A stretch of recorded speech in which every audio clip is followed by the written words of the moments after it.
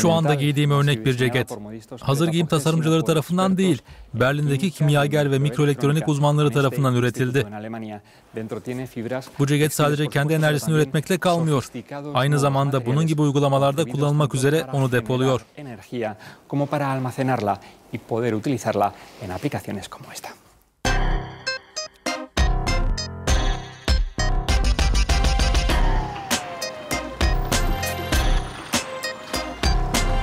Almanya'nın başkenti Berlin'deki bu araştırma merkezinde bilim adamları siz yürürken nasıl enerji üretileceğiyle ilgili kafa yoruyor. Onlar ürünlerde farklı yapıdaki nano malzemeler kullanıyor. Bu sayede yürürken enerji üretebiliyorsunuz.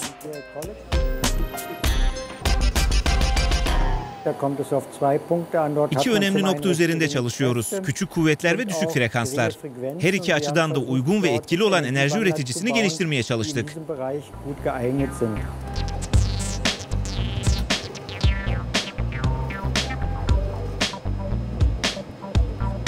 Üretilen enerjinin daha sonra kullanılması için depolanması gerekiyor.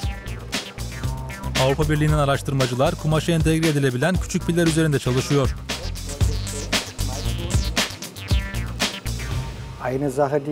Pil elektrotları için nano malzeme kullanmak zorundaydık. Bu nano malzemeler küçük sistemlere bile oldukça yüksek yoğunlukta güç sağlıyor. Yığılma olmaması için bunun çok iyi değerlendirilmesi gerekiyor. Bu nano malzemeleri basmayı başarmak temel hedeflerimiz arasında. Und äh, da war ein großer Entwicklungsschwerpunkt, dass wir dieses schaffen, dass man diese Materialien drucken kann. Bu piller nanofiberler ve seramik nanopartiküllerin karışımından meydana geliyor. Enerjinin güvenli ve kaliteli bir şekilde üretilmesi gerekiyor. Bu noktadaki çalışmalar titizlikle yürütülüyor.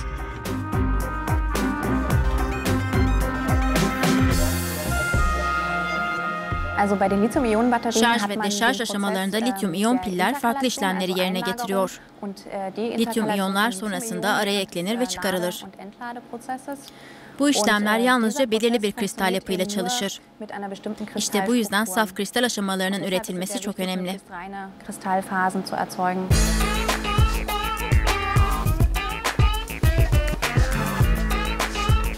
Nihai amaç kumaşlara kolayca yerleştirilebilen mikroelektronik parçalar elde etmek.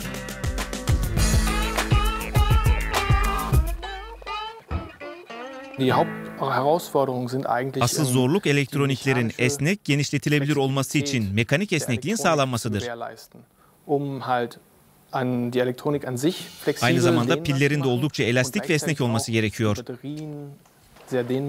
Böylece bütün sistem tekstil özelliğini korumaktadır.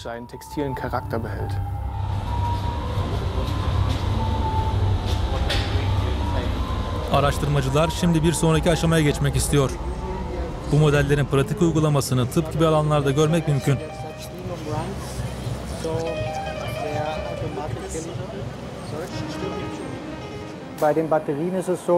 Pillerle tamamen yeni şeyler geliştirmek yerine onu mevcut malzemelere uyarladık.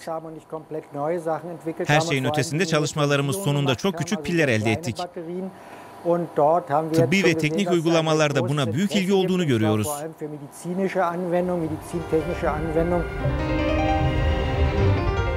Bilim adamları bu şekilde üretilen kıyafetlerin 5 yıl içinde piyasaya çıkabileceğini söylüyor.